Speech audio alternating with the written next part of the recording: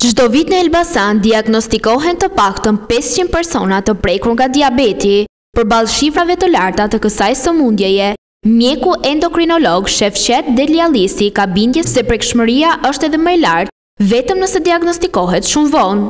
Zoti Diallisi pohon se përpos efekteve negative, Covid nëntëmbëdhjetë ka ndikuar në zbulimin e diabetit tek qytetarët. Aktualisht në qark, thotë ai rezultojnë mbi pesë mijë persona të prekur nga diabeti. Elbasani është një qytet i madh dhe ka shifra të larta të diabetit. Për fat ne kemi shifra për të dhëna për diabetin, janë bërë dhe studime dhe mund të them që janë mbi 5000 raste me diabet në gjithë qarkun e Elbasanit.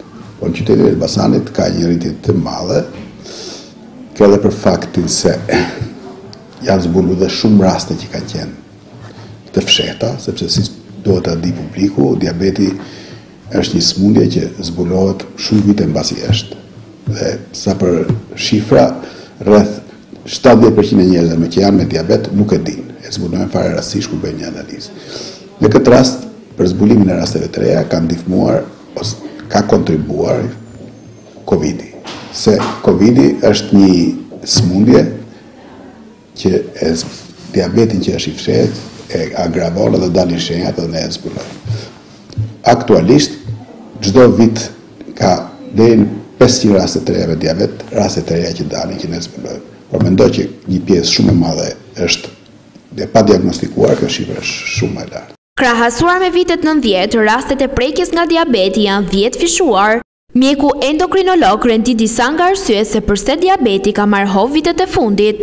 Para nëntëdhjetës, ne kemi pasur jo më shumë se njëzet raste të reja me diabet në vit në qytetin e Elbasanit. Ndërsa, siç të thashë përpara, neve sot kemi pesëqind e më shumë raste të reja në vit. Me fjalë, ka një mbi dhjetëfishim të rasteve. Kjo ka ardhur nga disa faktorë.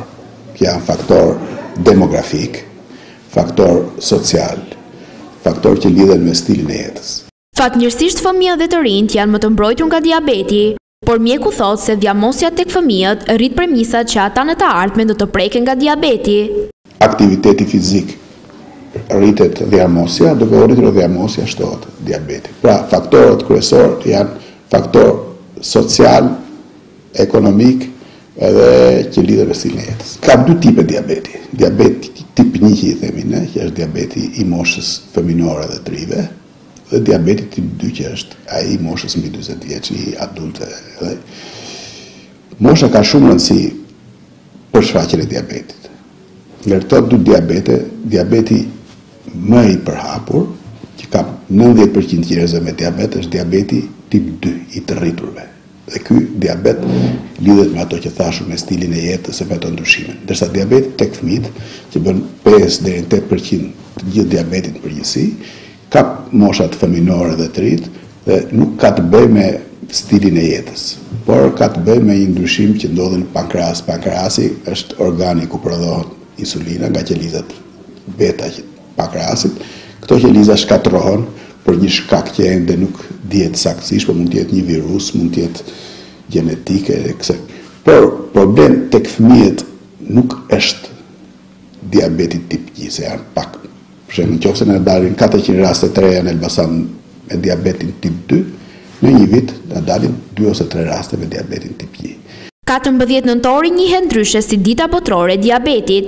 Kjo epidemi globale parashikohet të bëhet shkaku i shtatë vdekjeve në botë deri në vitin dy mijë e tridhjetë, ndaj mjekët bëjnë apel të ndryshohet në mënyrë urgjente mënyra e jetesës dhe t'i mëshohet ushqimit të shëndetshëm.